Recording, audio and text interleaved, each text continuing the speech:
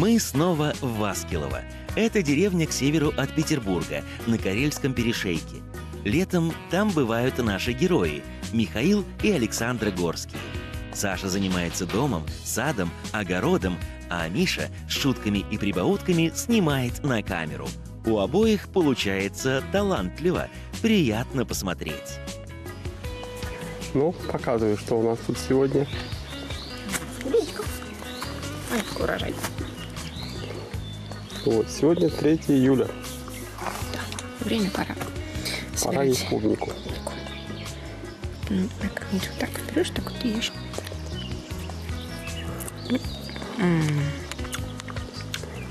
Своя. Настоящая. И вот у нас розочка выросла такая. Беленькие, синенькие, желтенькие, розовенькие, голубенькие. Есть еще желтые цветочки. А как они, Саш, называются? Знаю, господи, уже спрашивал несколько раз, Миша. Может, ты вспомнила? Вот начало июля, а у нас уже стала появляться красная смородина. Но она хоть и красная на вид, но на вкус она еще совсем кислая. И есть ее не стоит, потому что она невкусная. Еще пройдет неделя или две, она нальется и будет очень сладкая и вкусная. Вот крыжовник зеленый, который не надо кушать.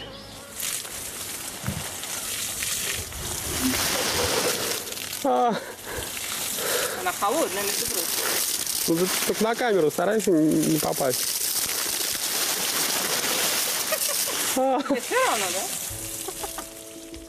Всем, кто любит на досуге запечатлеть памятные моменты, мы советуем поучиться этому у Михаила Горского. Обратите внимание, какие он находит ракурсы. Делает по наитию, а получается мастерски. Я же как импрессионист. Да? И Я снимаю один и тот же участок весь год.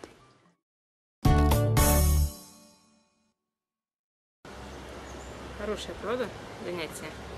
Снимать, как кто-то кто работает. А, а оператора никто не любит. Все его обвиняют в том, что он бездельник. А что, ты что-то делаешь? Я снимаю, Полезно. я снимаю кино, И что? да. Я не то, что не спорю, я тебе вполне нормально предложил, давай я сделаю. Ты сказал, нет, ты А провалишь. я речь. не знаю, как ты сделаешь, а я, я просто не доверяю, на самом деле. Мгм. Мне нужно, чтобы было, было все идеально. Ты, не, дай- не дай бог, что-нибудь не промажешь. Вот просто, понимаешь, какой-нибудь миллиметр, все будет на смарт. Ну, вообще бесполезно. Мгм. Как ты делаешь-то, я не знаю, я никогда не видела, и я тебе вот, ну, не- нет доверия. Извини. А я, а я, я это делала уже много раз. как у меня уже Мгм. как бы тут наработано все. То есть ты считаешь, что дырку замазать и, и заклеить свежим куском рубероида у меня бы навряд ли получилось. Только Так, поэтому. твоего высшего образования может не хватить. Самое сложное в ремонте крыши – это найти повреждения. Ведь течет во время дождя, а чинить надо в хорошую погоду. Вначале очистить и высушить щели, и только потом начинать клеить. Вот какая красота. Это, типа, настоящий черный цвет. Что может быть лучше? Ну, он красивый, на самом Да. деле, нравится. Для ремонта кровли, покрытой рубероидом, используют материалы на основе битума. Он обладает хорошими влагоотталкивающими свойствами, но, к сожалению, плохо переносит жару и холод. Летом плавится, зимой трескается, зато дешевый. Если делать качественно, хватит на несколько лет, а потом надо будет все повторить. На самом деле это э, один из очень динамичных и интересных процессов. Да? Конечно. Шам, по-моему, на жаре он становится более текучим. Кто? Битумный лак.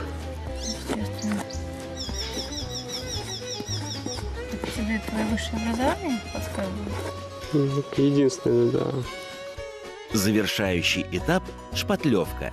По периметру заплаты не должно быть никаких отверстий, иначе крыша снова потечет.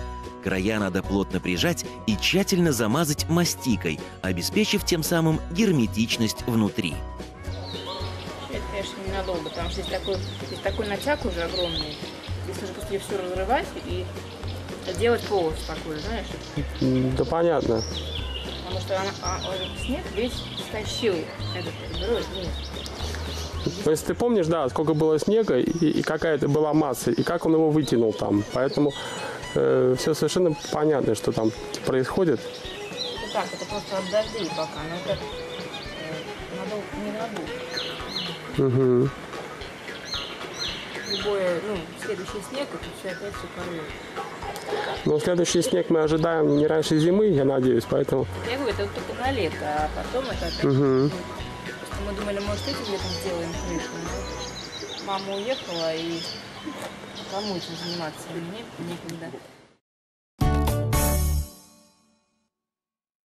Вот, кто выращивает клубнику, а кто землянику. Вот такая земляника уродилась. Настоящая лесная. Как в сказке про дудочку и кувшинчик. Гибридные варианты.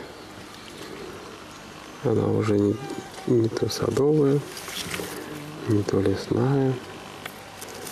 Но все равно очень концентрированная, маленькая, вкусная. И вот дельфиниум расцвел уже. Мы его в прошлый раз видели, а теперь он спустился во всей своей красе. Июль нам дарит новые краски дачи. Все меняется. Тут розочки, а тут ягодки.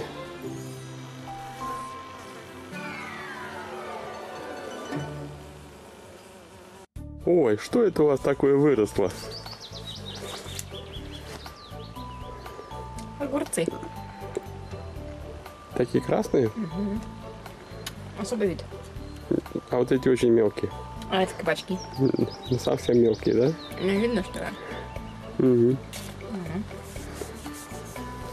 И что, вкусные? Ой, не то слово. Это делается вот так.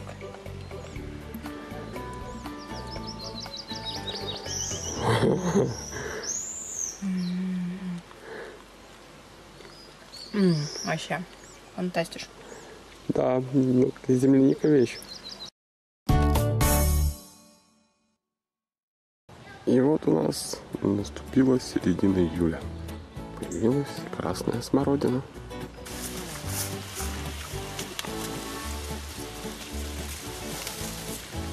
Сбор красной смородины крайне прост. И быстро. Особенно, когда ее много. Но под дождем это делать не очень хорошо, потому что она будет мокрая и быстро испортится. Поэтому, вот смотрите, это все мы съедим сейчас. Красная смородина обладает массой полезных свойств.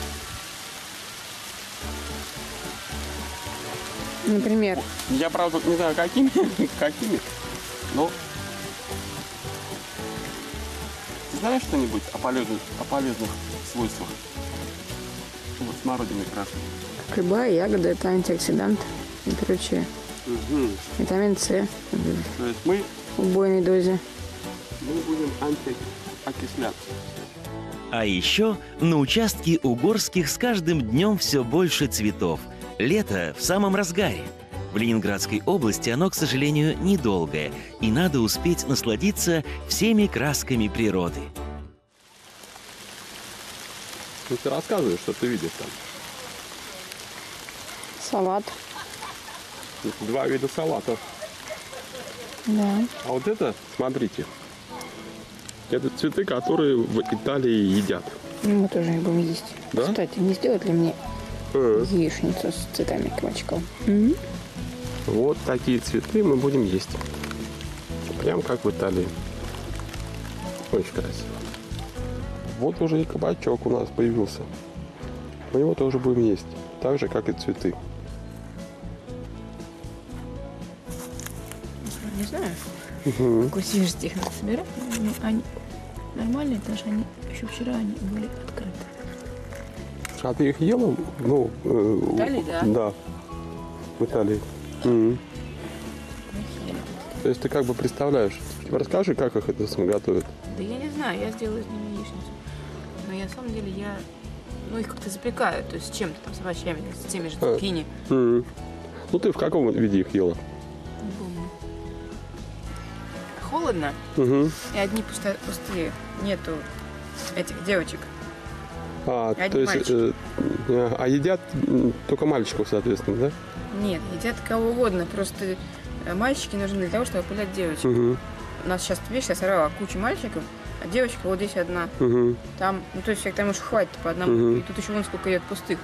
Они Их- раскроются. Их можно вручную А опылять. девочек я... А, вот один вижу. Мгм. Простой летний завтрак. Да. Ждешь всегда. Ради этого год живешь, чтобы вот так немножко поесть. А некоторые так. Круглый год едят. Да ладно, где такие выйдут? А негры? Негров нету таких. Что, у них ягод нет, что ли? Нет, ну таких ягод нет. Это же северные ягоды такие. Ну, такого не растет. Мгм. Ну, У них другие наверное, какие-нибудь есть. Вот такая вот яичница. С цветами из кабачков и помидорами. Э, Очень вкусно. А то? А то сейчас набегут. Мы как в Италии. Вот так выглядит яичница с цветками из кабачков. У нее есть еще изнанка. Спасибо. Вот и все. Завтрак удался. Пробуйте рецепт, пока Миша и Саша думают, чем вас развлечь в следующий раз.